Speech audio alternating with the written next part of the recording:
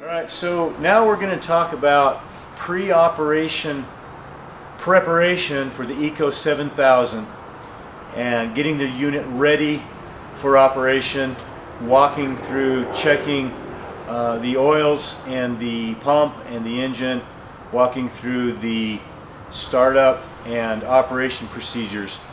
First, when the Eco 7000 is unpacked, there are several components that have to be installed onto the unit. Um, in the box, there is a 50 foot blue 2 inch vacuum hose that stores beneath the back of the unit in a compartment. In order to get this hose completely in the compartment, it must be laced in and twisted as it is installed as tight as possible in order to fit all of the hose into the compartment.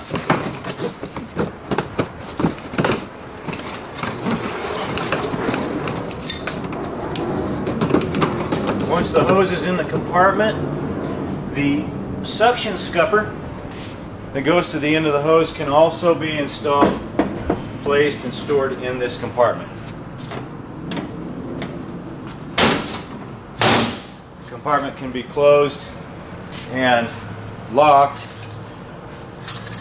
with a screwdriver at the back latch. Next in the box there is a receiver for the plug for the trailer that's supplied that can be installed on the vehicle that's going to pull the trailer that will connect directly to the electrical brakes and lights plug uh, on the end of the unit. There's also a spark plug wrench that comes to check the spark plug on the uh, Honda GX 690 engine and an extra set of keys for the cabinet doors on the control portion of the unit. That can be stored in the unit or mounted onto the truck that's going to pull the machine. The Eco 7000 wash recovery unit comes with an operator's manual. It comes with uh, an engine manual, GX, GX690 engine manual, and warranty information that can all be used to reference any questions that need to be referenced by the operator or by the maintenance individuals. Okay, so in the packet of uh, extra parts uh, for the Eco 7000 comes a uh, mesh bag with oil absorbent material that is designed to absorb oils and greases from the water that's recovered and comes into the vacuum system. This bag is designed to just hang in the back of the tank via a carabiner and it's very easy to install. Simply pull the tabs, the rubber holding tabs off of the top of the suction device. Pull out the mesh bag, filter bag, and at the back of the tank, below the suction motor, inside there is an eye hook. It can be accessed and felt right toward the back corner of the tank. Simply drop the mesh bag down into the suction tank. Needs to go to the back of the tank behind the float switch and with the carabiner open clip it onto the eye hook at the top of the back of the unit and push the bag back into the corner, the back corner of the tank. Then replace the suction lid with the filter mesh sock and clip the tie downs back on. Okay, so the, the Eco 7000 comes equipped with two hose reels. The hose reel on the bottom is designed for a three quarter inch garden hose up to 100 feet that can be used to roll out, connect to a spigot, and fill the tanks from a remote location. This hose is going to need to, need to be provided by the operator. The Eco 7000 has a pressure hose reel, pressure out, and the pressure hose provided is a 50 foot high pressure two wire braid 6000 psi hose. Okay. So now we're going to demonstrate how to attach and wind up the pressure hose on the top hose reel. The pressure hose comes with two red protective rubber sleeves. One of them is a 24 inch sleeve and one is a 10 inch sleeve. It's important to be sure that the longer of the sleeves, the 24 inch sleeve, is the sleeve that is left out and that the shorter sleeve is the one that is mounted first to the hose reel. The easiest way to attach this hose is first to extend the hose out, unravel the hose and straighten it out in a straight line due to the wire braids behind the unit. So once this hose is stretched out and straightened out behind the unit, again, the short rubber protector on the end going into the hose reel needs to be laced through the guide on the hose reel, the center of the guide, through the side hole on the hose reel, and needs to be threaded into a fitting on the hose reel swivel. Before this is threaded in, take and wrap the threads with several wraps of the Teflon tape that comes in the packet with the unit.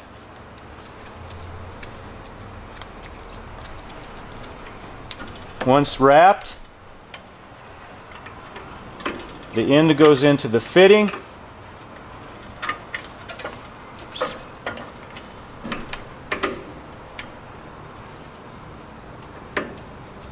And thread it in a clockwise direction.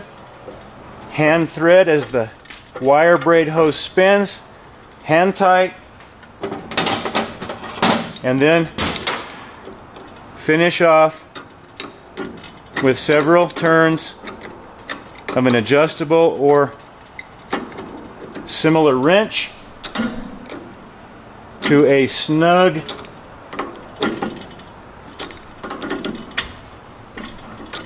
position. Finally, move the rubber protector up and over the fitting up to and against the 45 degree elbow. The hose can be drawn through the side hole of the hose reel to reveal a small hole at the top of the hose reel, directly opposite the handle. This is where the clamp that holds the hose together on the hose reel is attached. The clamp goes on. A small screw with a hex head insert and nut are installed by putting the screw through the back of the hose reel, the side where the hose is going to be,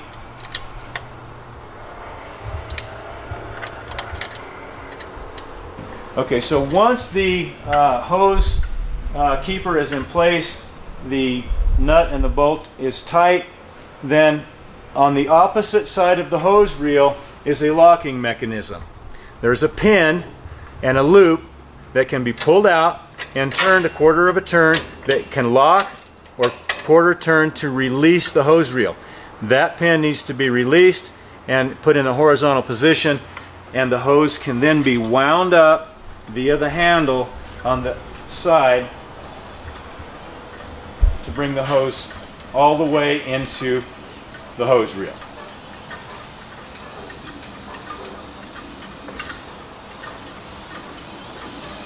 Once the hose has been installed, the locking mechanism can be set so the hose reel doesn't turn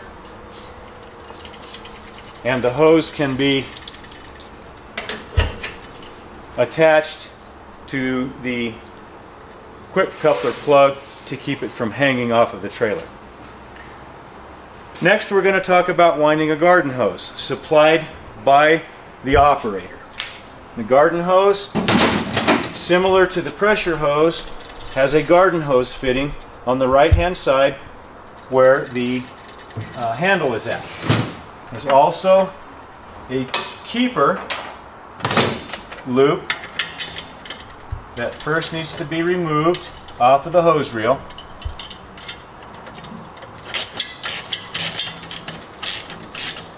To be installed on the garden hose once the garden hose is installed onto the hose reel. Alright, to install the garden hose, again simply place the garden hose through the guide at the front of the hose reel and then through the side of the hole on the side of the hose reel and thread the end onto the hose fitting.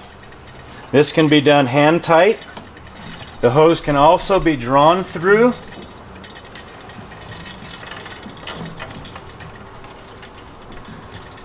And the keeper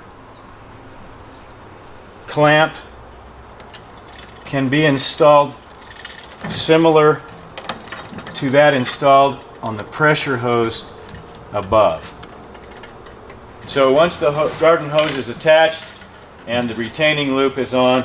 Again, the locking mechanism can be released at the back of the hose reel and the hose can be wound up onto the reel for storage. Okay, so the Eco 7000 comes with a dual lance wand and a variable, variable pressure needle valve that opens up the second tube to lower the pressure. It comes with a trigger gun and comes with a nipple that all need to be put together. Simply take the uh, supplied uh, Teflon tape and wrap the threads of the fittings in a direction that goes the same with threading them on in a clockwise direction. Insert the fittings and they can be tightened then with wrench. Also the wand the threads at the end of the wand can be wrapped clockwise with the threading pattern four to five turns with Teflon tape and the wand and trigger gun can be threaded together. The trigger gun then is ready to be attached to the quick coupler fitting at the end of the pressure hose for operation. Okay, so now that the uh, trigger gun and variable lance wand are put together with the nipple, the hose at the end of the washer can be released, can be pulled out, and can be installed, clipped onto the back of the pressure wand. Also, the nozzles that are available with the Eco 7000 are stored at the base of the top hose reel. The red nozzle is a zero degree red nozzle. The yellow nozzle is a 15 degree spray pattern. The green nozzle is a 25 degree spray pattern and the white nozzle is a 40 degree spray pattern. Choose the nozzle that the operator wishes to use and install it in the quick coupler fitting at the end of the dual lance wand. So prior to operating the Eco 7000 wash trailer, it's important to go through several uh, checks uh, of the fluids in the unit. Uh, the Honda GX660 engine has a dipstick for oil check at the back of the unit through the galley. That dipstick can be removed and the oil can be checked and can be installed back in prior to operation. It's important to check the oils in the engine and in the pump prior to each operation. At the top right hand side of the back end of the pressure washer is the battery box. Prior to operating the Eco 7000, a 12 volt deep cycle battery must be installed inside of the battery box provided by the operator. The battery simply sits into the box and the red lead is attached to the positive lead side of the battery. The black ground lead is attached to the negative lead side of the battery. Once installed, the top can be returned into place and the keeper strap can be laced underneath the battery box. So when servicing the engine oil on the Honda GX660 engine, right next to the dipstick oil uh, dipstick uh, measuring line is the fill oil fill cap that can be removed from the back of the pressure washer. This cap comes off and changing the oil, the new oil can be inserted into that cap. So back here at the back of the pressure washer you will find a fuel filter assembly that filters the diesel fuel that runs into the burner system and supplies the burner with fuel for the heat. Below the fuel filter, this needs to be checked to make sure that it's clean. There is a clean out drain at the bottom, a, a water separator drain at the bottom, and this filter can be replaced occasionally when need be due to contamination of fuel. Below the fuel filter is the generator that generates the 120 volt power to operate much of the other components on the unit. At the top of the tanks, water tanks, each of the tanks, there is a clear plastic see-through lid that can be removed to inspect the inside of each of the water tanks. Inspect for debris that might need to be cleaned out of the tanks and they can be inspected for water levels inside the tanks. They can also be used to fill the water tanks from outside. At the front of the Eco 7000 uh, wash trailer, recovery trailer, there is a panel, access panel for maintenance of the pump and unloader valve that can be removed with eight bolts. That should be removed and prior to operation, the oil in the LT6036 pump needs to be checked. The top of the pump is an oil check dipstick. It also can be used for a fill location. The oil in the pump only needs to be approximately halfway between the two knobs on the oil dipstick. It does not need to be completely full of oil. It runs halfway full of oil and that can be measured on that dipstick. When it comes to maintaining the LT60 36 L.2 pump for draining the oil, there are two drain hoses at the front of the Eco 7000 wash trailer unit. One hose drains the oil from the pump when it needs to be changed. The second hose drains the oil from the engine when that needs to be changed. Directly behind the pump and between the Honda GX 660 engine is a filter, oil filter, that is very easily accessible from this front panel location. When changing the oil in the GX 660 Honda engine, it is important to remove and replace this oil filter at the same time. So now we're going to go into the startup procedures to start the pressure washer on the Eco 7000 trailer. Prior to starting up the pressure washer, it is imperatively important that the operator review the manual, the operator's manual, and read pages 16 through 22. They go into assembly, startup, and operation of the pressure washer. It, it talks about the switches and the valves that need to be uh, adjusted, and I'll walk through that at this time. Once the operator has reviewed the manual, to start up the Eco 7000, simply unlock the control panel door and inside the control panel we'll start with the valve system. the two outer tanks on the pressure washer should be full of water to start. These are the outer tanks.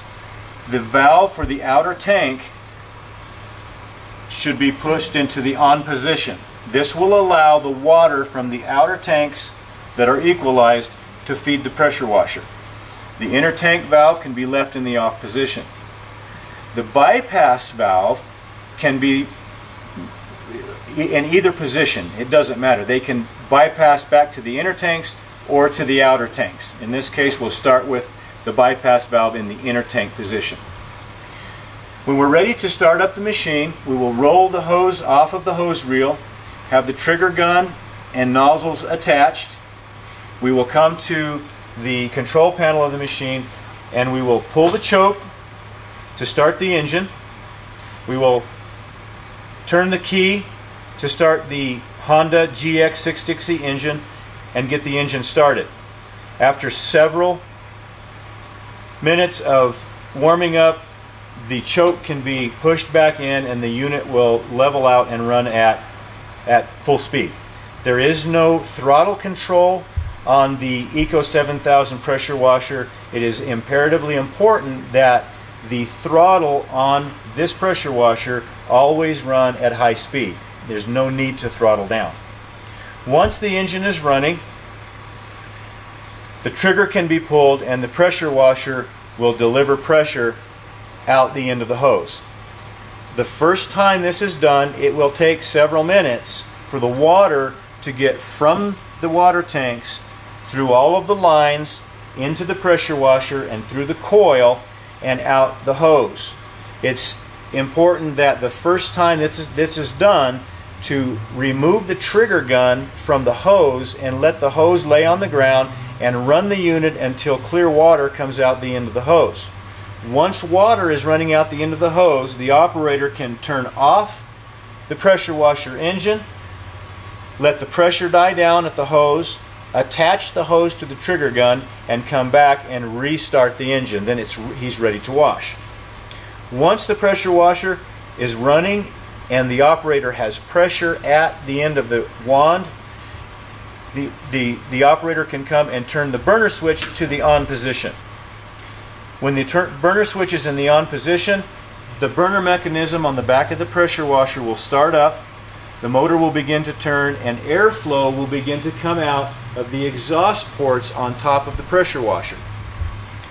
There will not be any heat until the operator turns the dial, temperature dial, and from the off position to the desired temperature.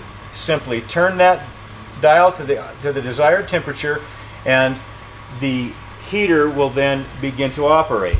Again, the first time that this pressure washer heater is operated, it may take several minutes for the fuel system to clear all of the lines and get to the burner nozzle in the burner. So give it a few minutes and then the burner should fire. If the burner does not begin to fire after several minutes, it is important to turn off the unit, turn off the switch, and reference the operator's manual or the troubleshooting manual at any time that happens. Once the operator is washing with or without heat, it doesn't matter, then the next operation would be the vacuum pump. In a moment we're going to walk through connecting the vacuum hose when the vacuum ho hose is, is connected to the flat surface cleaner or to the suction scupper, simply turning on the vacuum switch will start the vacuum pump and begin the suction of the used contaminated water through the 2-inch vacuum hose and into the vacuum tank. As the vacuum hose continues to suck water into the vacuum tank, it will continue to do so until the vacuum tank reaches a maximum level and the float switch in the vacuum tank shuts the vacuum off. When the vacuum quits sucking, then the operator can come to the control panel and turn on the reclaim pump switch. The reclaim pump switch then will start to process the water out of the vacuum tank through the filtering system and back into the center set of tanks on the wash unit. Once the vacuum tank has been emptied by the reclaim pump, the switch in the, in, in the vacuum tank will then shut off the reclaim pump. These can be left in an on position while operating, or they can be operated manual, manually by the operator as he chooses to do so.